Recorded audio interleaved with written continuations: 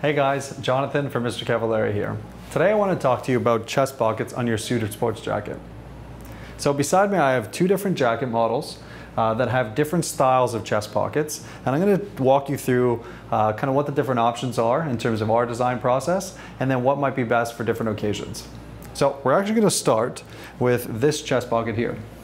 So this is a diagonal chest pocket. So if you look at it, it's just a diagonal on the chest. There isn't nothing crazy here. You're gonna find this in majority of suits that you find off the rack. Sometimes you find straight pockets as well. Um, my personal opinion, if you're if you are going to choose a jacket, try to choose something with like a little bit of a visual line, right? Because this is diagonal, it kind of goes up towards the shoulder, which is a little bit more flattering.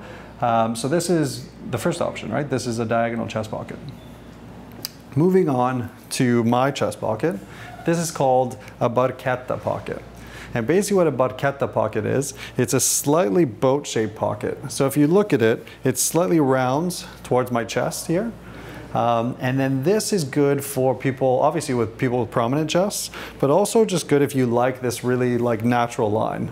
With our suits, we like to do a lot of like really like really shapely lines in our garments, uh, and this just adds to that. It's a Neapolitan tailoring um, technique, let's say, to add a barchetta pocket. So we really like it. Uh, and then this can work for this can work for pretty much anything, right? But it's a little bit better for someone who has a prominent chest. Last but not least is the patch chest pocket. So this is going to be your most casual option of them all. Obviously, this is actually a patch that's just sewn right on the chest. Uh, but what we do, as opposed to leaving it completely square, we tilt it just a little bit. So almost has this, almost just has this like rounded shape right? And just looks really flattering on the chest.